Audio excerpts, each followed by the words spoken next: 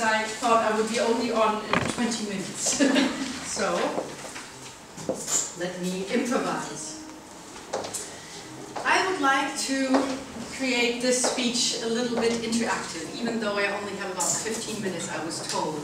I prefer connection, because this is what it's about, what I'm going to speak about this evening. It really is about words that either disconnect us or create connection between human beings. And feedback is one of the strongest resources for personal development, for personal insight, and for trust and connection between human beings. I would like to say a few words about myself. I'm 48 years old, I live in Germany, I have a son, he's 16 and a half years old, and he's given me lots of opportunities to deal with difficult messages. Hmm. I can tell you that, so I've grown a lot from that. And um, like um, some speakers have said, I work as an executive coach, so I work with people who have a lot of responsibility in leading other human beings. So how they speak, how they have a stance in life, and how they talk and commu communicate to other people is extremely relevant. Feedback in my life.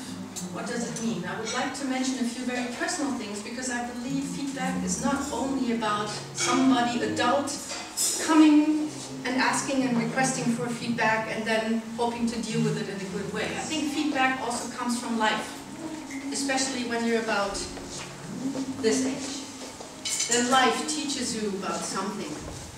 It teaches you about who you are in life, who you are supposed to be, and who you are not allowed to be. First feedback I can remember in my life was quite difficult, I must say. I was about six or seven years old, and I was taken from the, the classroom, and the headmaster and some other people were telling me, you were at your girlfriend's house yesterday, and there were the grandparents, and they are saying that you stole money from them. And I was like six years old. And I couldn't believe what they were saying to me. But it really formed me for the rest of my life, I know that. The first time I received feedback was when I encountered people, my teachers from nonviolent communication. Nonviolent communication was founded by Marshall Rosenberg. He was a psychotherapist and he developed these four steps of communication and these four steps of communication have today become the most important part of what I call mediation. I don't know how many of you know about mediation, but it's conflict resolution at its finest and the central part of it consists of empathy. How do I provide empathy? I would like to um, tell you a little bit about the, the attitude or the stance or the key assumptions of nonviolent communication. This is why I like this. Just to give you a little input. Oh, but now then you can't see, so I have to stay back. All right. No, it's okay, it's okay. I'll do it like this. So it's four key assumptions we have, and I think they are crucial to how we can be different in the world, speaking to other people, but at the same time also receiving messages from other people when they tell us something that they see in us, in our behavior. And the first key assumption is that all human action is based or is there to, to serve and fulfill human needs. All human actions, what we do, what we say, what we don't do, what we don't say, is there because we are trying to fulfill human needs. Yeah? All human actions. Whether we like them or not. The second thing is, all human beings share the same needs. And I don't know whether you really experience it that way, especially when you have somebody that you do not really appreciate, that you do not appreciate how they behave, how, how they show up in the world. But we all have the same,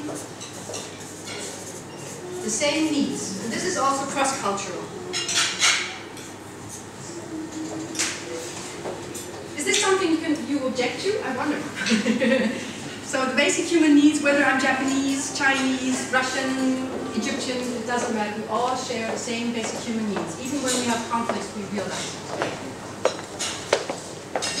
Human beings enjoy contributing to the well-being of others, another assumption that we strongly believe in. Let me say that when we give feedback, why am I doing this? Why am I giving somebody feedback? Is it because I want to give them something? Is it for me? I don't know how you see it.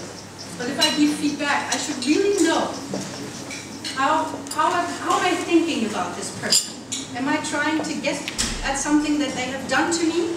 What's the relationship between that person and me? And I have to become very clear on the relationship between this person and myself in order to give the constructive, positive, and the other one you said? The positive, constructive, and... Timely. I didn't say feedback that. That you, that you practice here as well. So it's very important. So we enjoy contributing.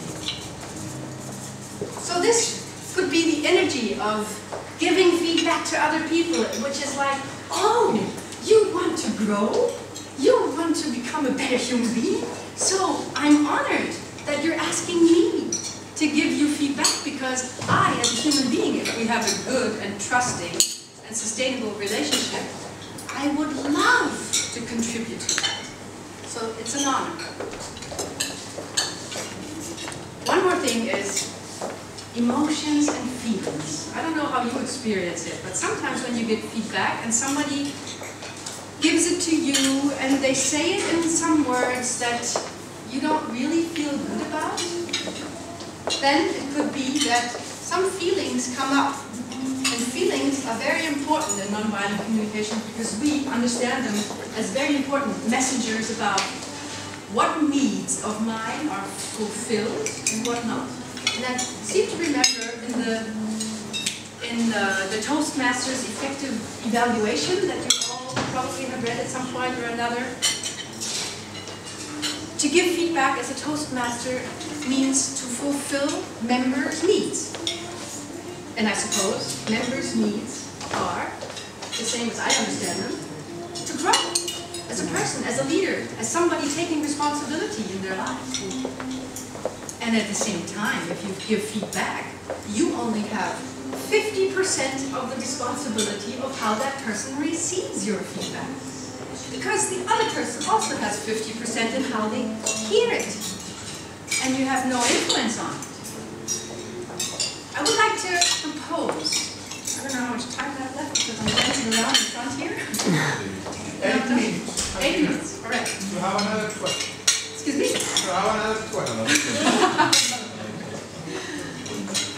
um, I would like to propose one way of giving feedback or getting getting clear to give a positive and constructive feedback, which is if you start thinking about, hmm, what if I just observe? Like you are observing me, you are observing me moving around, so what are you observing? It's not to get confused between observation and how you interpret me. Maybe you don't like Germans. maybe, I don't know, maybe something about me reminds you of your... The Troika. yeah? So, just to make sure, we want to discriminate or distinguish between an observation and our interpretation of what somebody is doing. And I'm writing very fast because I'm trying to save time. One very, I think, very wise man once said, one of the highest forms of human intelligence is to be able to observe without judgment. I believe that's so true. It's so true. It's so true, and we can only strive for that. And I think the most important thing is to, to know and to sense and to realize when am I observing? And this is something a film camera could do. So what am I seeing and what am I actually hearing?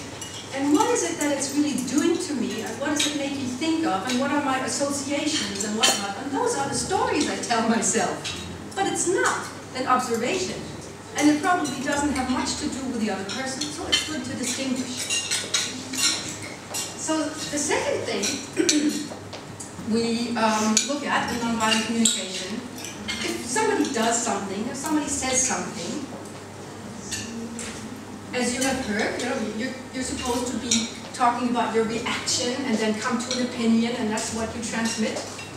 If you observe something, it does something to you, obviously. You're not objective, you're subjective. So it will do something. And probably, most probably, do something that will also stir some feelings in you, either of being comfortable or being boring or she's doing this. Some kind of feeling will, will stir in you. And I'm proposing that noticing these feelings are very, very important because they are important messengers about the most important thing I told you about before, our needs. And we don't want to mix them up with something that I call strategy. So I think it's important as someone who gives feedback or who receives feedback, when I give feedback, am I really into contributing to the development of the other person or is there something else at play at the same time? And when I receive feedback, what needs of mine are being fulfilled when I listen to what the other person has to say? And I think this is quite important to take responsibility of what of the feedback am I really taking in? And then I reflect it, I accept it. But sometimes somebody is giving me feedback and I'm like, I just don't know whether you're talking about me or about yourself right now. yeah? So you have to really take responsibility and to make the discrimination between is, is Peter talking about Paul or is Peter talking about Paul and talking indirectly about himself? My responsibility when I receive feedback. And I would like to tell you just uh,